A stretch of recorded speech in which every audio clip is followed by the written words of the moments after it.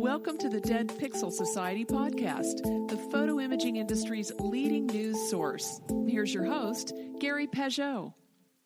The Dead Pixels Society podcast is brought to you by Media Clip, Advertech Printing, and IP Labs.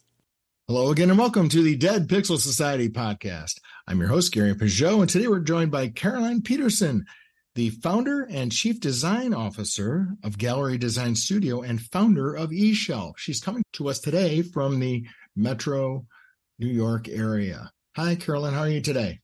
Hi, Gary. How are you? I'm doing great. First, tell us a little bit about your background as the founder of Graphic Design Studio. Yeah, so I'm the founder and chief design officer at Gallery Design Studio. Uh, it's a creative agency specialized in serving B2B technology companies. So essentially, our, our, job is to simplify complex technology with visually engaging content.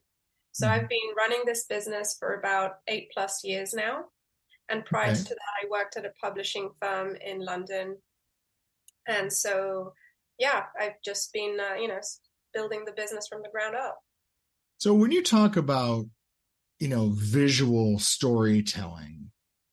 What what do you mean by that? Because uh, you know we're kind of awash in visuals now you know as sort of as a culture and in marketing. But there's there's visuals that are just decorations and then there's visuals that tell stories. What what do you mean by that? That, that's a great question. I think in specifically for what we do it's really before we even start designing and conceptualizing writing any sort of copy it's really what matters to our clients clients and audience that they're trying to target right? Mm. so it's really what are their needs? What are their pains? What is their better day? What does their better day look like? And so from that base we kind of reverse engineer the copy the design and even the format that we choose. Okay.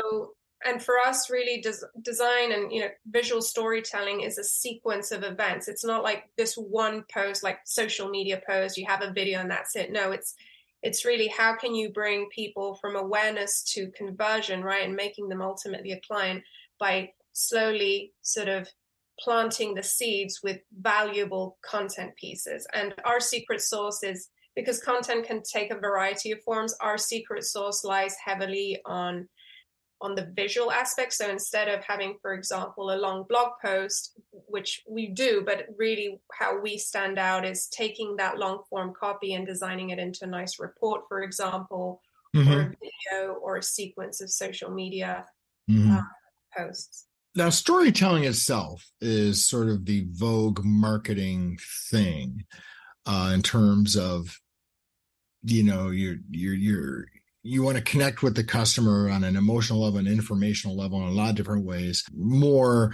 talking about the benefits rather than the features of different right. things for example. That can be a challenge for a lot of people to be honest because there most people don't understand. Storytelling is a skill. It's not something you just naturally do. You naturally can interpret stories. You can't always naturally tell stories. What are some of the things someone needs to do when they need to evaluate their strategy if they want to engage in vis- in visual storytelling specifically for their business? I mean, look, there is probably there's a lot of answers out there, and I'm not pretending here to say that this is the only answer, but I think well, no, you're the expert. You you are the expert.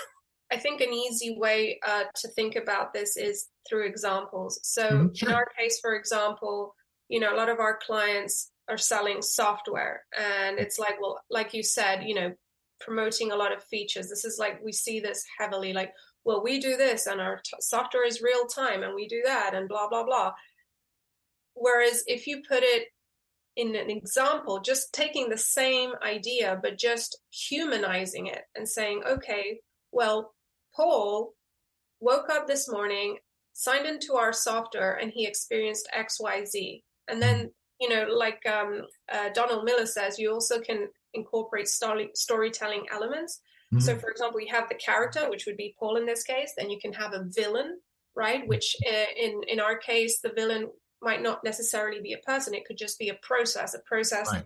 that is so time consuming and manual that is just hindering your productivity and work, right? So right. we we did an example for a client, and it was well, Paul wakes up in the morning, he uses this, And since he's been using the software, he's able to go back home and have dinner with his family. And right. so that resonates because that's a real life. You can empathize with that. You can relate to that, right? As opposed to this software helps you streamline your operations. Like, why would I care, right? What's in it for me? Right. Like, it's just really the simplest way is just doing an example with a real person. That mm-hmm. that's an easy way of doing it. Because like in the photographic industry, the output industry, which we were talking about before, you know, a lot of the merchandising is not really storytelling. It's, you know, we're, it's great how we can put the picture of the, the intended product on a mug in a preview.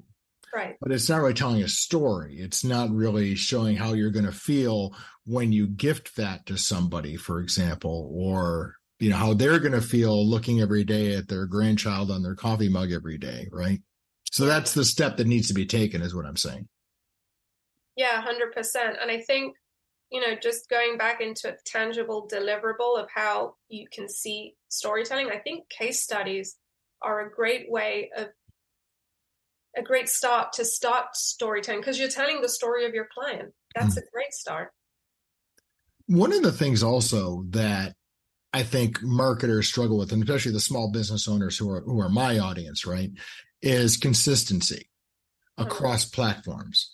Right. They may do an Instagram post, they may do a, a in-store signage, they may do, you know, videos or reels or whatever. And they don't really they want to be trendy, but they also but that can lead to inconsistency. Yeah, and this is something that honestly, even with larger firms, we see we see a lot of our clients also be, um, you know, sometimes inconsistent. And the name of the game is consistency is quality, and you're not going to have a strong brand right. if you're just doing ad hoc pieces. So the strategy that we and this is continuously developing in in our agency, but you know, you have to strike that balance of quality, consistency, and speed because unfortunately speed is a factor you do need to be you know continuously reminding your audience about your existence and the value you provide and how you can serve them mm-hmm. uh, but at the same time you don't want to be pumping out mediocrity so because right. again like you have to be very careful with your messaging if it's resonating with your market if the imagery you're using is is making sense right so i think one strategy that that's worked you know that served us quite well is looking at content marketing with what we call signature pieces. So, really, mm. you know, sitting down and thinking, okay, what would be a piece of content that would really move the needle for my business? So, an example, you know, it depends on the stage of your business, but let's just say, for example, you know, a white paper to really showcase your expertise in the industry, right? Mm-hmm. So that's what we would call a signature piece. Or maybe it's an explainer video, a two minute explainer video about your product or service. Mm-hmm. And that's a great starting point. Focus all your energy on that needle moving piece. It could also be your website if that's bringing traffic, right? Whatever it is that you think is going to bring you more traffic. And then once you have that signature content piece, extract micro content pieces from that. So mm-hmm. similar mm-hmm. how, you know, from this podcast, for example, you could extract snippets of, you know, quotes and, and good insights, right? Similarly, you would do with video and white paper copy and mm-hmm. uh, you know content assets so it's really planning in advance what you're going to extract from that good piece of content as opposed to scrambling and doing right. because you're going to be wasting your time and and it's a lot of wasted energy now, can you talk a little bit about repetition here? Because one of the things that I think a lot of people struggle with in small business marketing is, you know, let's say they do a a campaign, right? Or they're coming, you know, I want to promote holiday cards because it's the holiday season and all that. And they do it and they don't under, and they don't really consider how often it, that needs to be seen by the customer before they engage. Mm-hmm. So is there a rule of thumb on repetition or putting things in front of people maybe in a different way with the same message? Is there, you know, how, how does that work? How, how do you make a decision how often you run things? So I have a, a, a saying that you know create once, distribute ten times. Okay. And so, for example, you know, we do most of our designs in Figma, so uh, which is a, a, design software. And what we will typically do is we have one design and we will do 10, 20 variations. Very mm-hmm. similar, you know, like following our look and feel or our client's look and feel, but doing a lot of different variations. Sure. And then just posting that. And that goes back again to those micro content pieces. They're also good mm-hmm. because they're variations of that big thing that you did, right? It's a different way, which then will link back to that, right? But it's just a different way of portraying the same thing. Mm-hmm. You don't want to be starting from scratch. Repurposing um, is the name of the game. Mm-hmm. And that's okay, right? I mean, it's okay to go back and revisit things. Can you, I mean, what, how often can you go back to like older content? Is there a way to refresh that? Absolutely. If it's relevant, if it's still relevant, absolutely. Mm-hmm. And sometimes it just requires a copy tweak and uh, you know you just run with it update look and feel you might you know your brand colors might have changed so you can but you don't have to be starting from scratch all the time because i think that is one of the things that a lot of you know small businesses run with right is either they don't do much because they're you know it's it can be an overwhelming thing and unless they have a uh, service like yours or a partnership like yours or an outside agency or an in-house agency to to constantly be churning this they'd rather not do it right? It's just like okay you know i'll just throw the logo out there i'll do some blog posts i'll do some stuff but you know i there's no strategy involved. Yeah i think honestly whatever you do even if you don't have the a big budget to hire a creative agency or have a freelancer help you out i think whatever you do, do it mm-hmm. consistently. Even if it's not, let's say, the best design, but if you have, it's again that distribution is also a key mm-hmm. component. Mm-hmm. You need to get in front of those eyeballs. Mm-hmm. So consistency is not just visual, but it's also like how consistently are you going out and distributing your content. And you've got crazy tools out there now for this stuff. I mean, you mentioned Figma, there's Canva, there's Visme, there's all kinds of tools out there that are out there to to do this stuff and reformat campaigns to different platforms and things like that. So it's really easier than ever to do this. I mean, I think that's debatable. I think just because the t- the tool might be easy, like um, mm-hmm. Canva, Canva is a great tool for non professionals. Mm-hmm. Um, but you still have to go in the tool and manipulate the image, the copy. Right. I mean, yep, sure. you have, you know, AI generating a lot, there still needs to be some level of human interaction. Sure. And every time you log into the application, that's, you know, it's work. Someone has to do it and someone has to do it consistently, yeah. right? Yeah. Yeah. Well, I wasn't really talking about the AI stuff specifically, but I was just saying that, you know, uh, you know, for most casual people, you know, opening up Photoshop and resizing and getting into Adobe Premiere to cut a short video is more than they want to deal with. But but you just mentioned AI, which is an interesting topic in and of itself because it's very trendy right now, and especially in terms of marketing. There seems to be a lot of it. You know, whether it's in in the text world with Chat GPT and now uh, with Adobe's announcements now with what they're doing, you know, they're putting it in uh, their platform uh, what are your thoughts on AI as a as a part of the creative marketing tool set? I think it's what you say. It's a tool. I don't mm-hmm. think it eliminates the human creativity and need. It's it's a tool. Like Figma is a tool. Like uh, Photoshop is a tool. But on the other hand, it's funny, interesting, and because I think this is just sort of like you know, it's new, it's interesting, and so there's a lot of people who perceive it as either a threat or a competition or a replacement, which isn't, I agree, isn't going to happen because, uh, you know, photographers, when Photoshop first came into the marketplace, you know, it, it didn't replace photographers. It was just a, a tool photographers learned how to use. Yeah, absolutely. I think it will definitely, I mean, we leverage AI all the time uh, mm-hmm. within our agency, and it's definitely helped streamline a lot of things. You get a lot of great ideas. Mm-hmm. Um, going back to the storytelling, it can. Uh, we just drafted a script that was uh, sort of like in that character mode, so it definitely gives you a leg up in in, in speeding things up. Mm-hmm.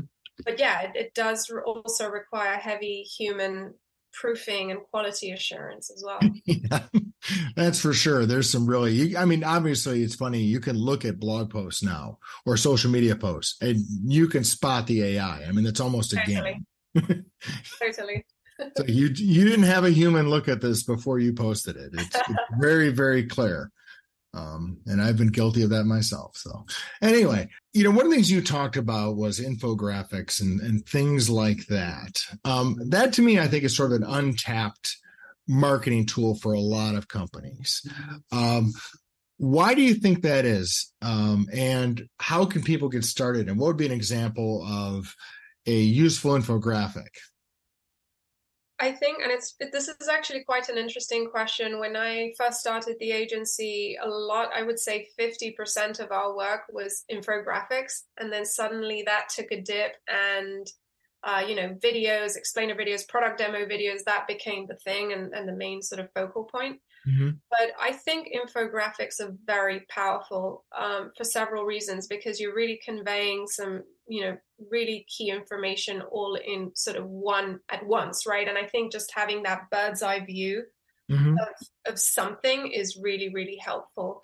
Mm-hmm. Um, in terms of the challenges of why I think people don't leverage infographics, I think it's uh, one, maybe people are just not thinking about it. Mm-hmm. Two, getting the data might be uh, tough for some people. So let's say you want to do an industry report or you want to have something legitimate, you might have to outsource an external partner to do that research for you, and that can be relatively expensive. Mm-hmm. And then, mm-hmm. thirdly, from a design standpoint, if you want to have it, you know, tip top, professional, you know, that's also from all of the asset types that we do, infographics are by far the most time consuming, I would say.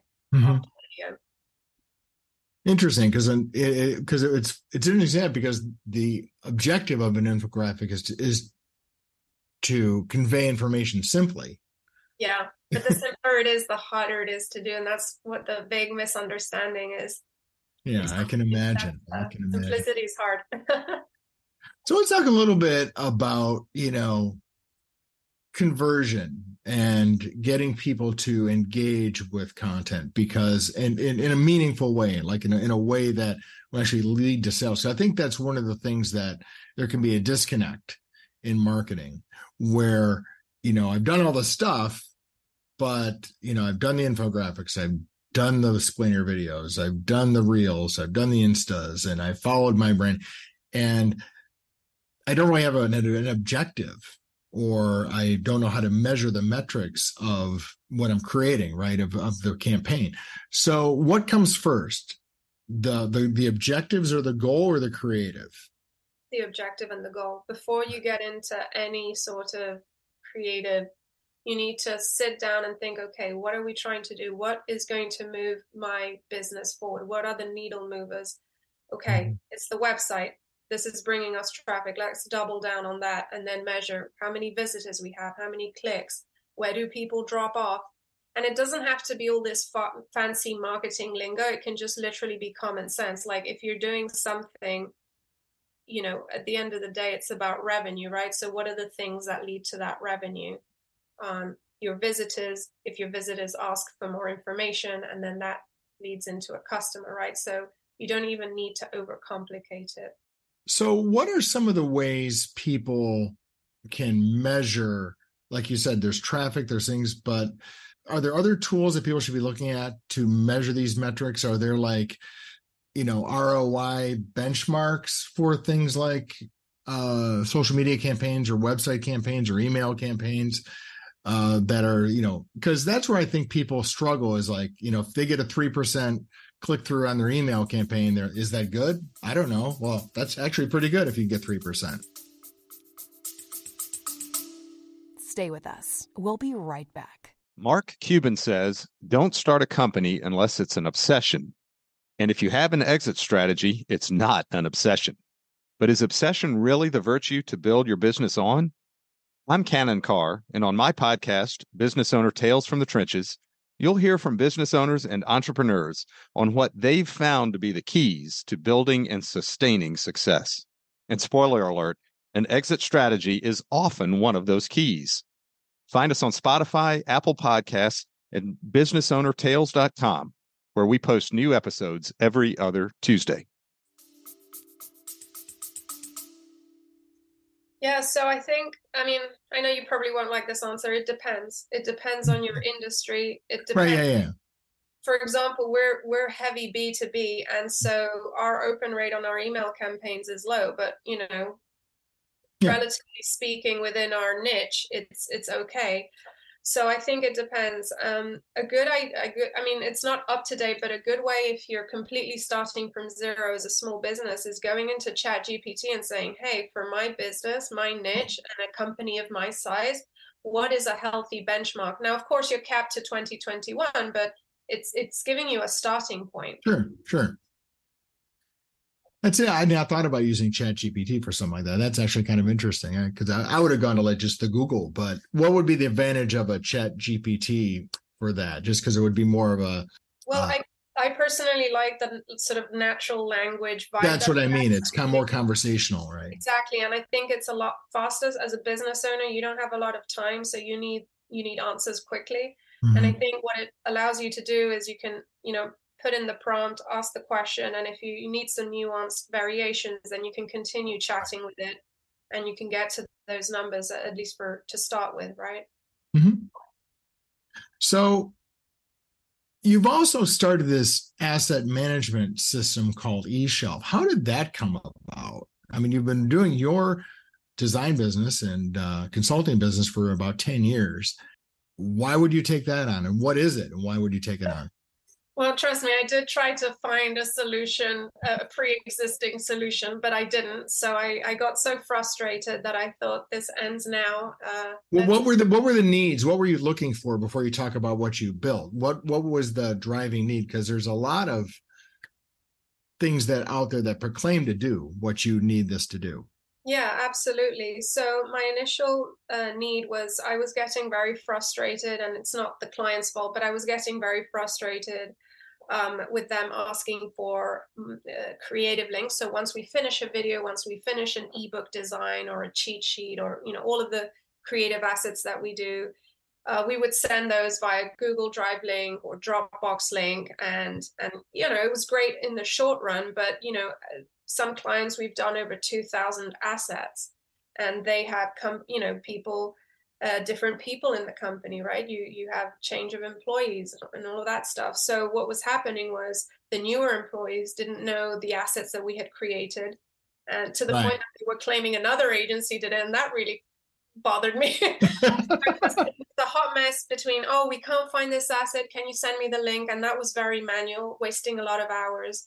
Mm-hmm. and then the other part, which is, you know, people at the firms that we work at, because they're slightly larger, they just didn't know the assets that we created. So I was thinking, well, wouldn't it be cool to have a digital asset manager that's simple, that's not extremely exorbitantly expensive like current right. solutions, and that obviously is is beautiful, and that mm you're displaying your assets in the most beautiful way possible. And so that's how eShelf came about. That's our uh, minimum viable product, but um, you know, with that same idea, we want to automate a lot of other manual tasks that creative agencies are facing. Mm-hmm. Yeah, because I mean, you've got a CRM built into this, which is, I mean, honestly, I think every uh, SaaS product seems to have a CRM built in, but I can see the application for the type you're saying because, like you said, a lot of the companies you work for, they're junior people, they get promoted, they leave for another company, and they take that knowledge and relationship about products with them. That's right. It's a very it's a very fluid career. Let's put that a lot of movement between these companies. Exactly, and we just also always want to make sure that our agency gets the credit that it, you know. Yeah. And also from a practical standpoint, that if down the line, you know, three employees down the line in our clients' uh, firm, you know, if if they need source files, right? Because you know we're talking about back to the point of re- repurposing. You know, if you want to repurpose something that was done three years ago, where are those source files? That's another mess that people often forget. You know, all of the things that it took to build the asset. We mm-hmm. have it mm-hmm. very clean on eShelf. We pair the end product, say the, the the final video, with the After Effect files. You can find that all grouped in one place. Mm-hmm. It's nice and tidy. So if three years down the line someone needs that, it's ready to go, and there's no Dropbox link or Google link to, you know. And they can do their version of it, right? If they need to update it, for example, like you said, they change the, and they don't have to go back and ping the person at your place and say, "Where's that file that we have?" and it's Yeah. all self-service from their standpoint. So, so what's so how long has that been around? I mean, how I mean, is it relatively new or is this? And I mean, was it something you were using internally and then you decided to turn Correct. it into a product? Correct. So we we um, Gallery Design Studio was using eShelf since January 2022. As we started using it, we just our team realized that there were a lot of other manual things and a lot of things that our clients should have self-service access to, Mhm. um, such as reporting and you know time management if it's relevant for that client. There's a lot of different things, and also uh, when you're running a creative agency and similar to any honestly service business there's a lot of different tools that you need to use. So you have maybe project management tools uh, Yeah.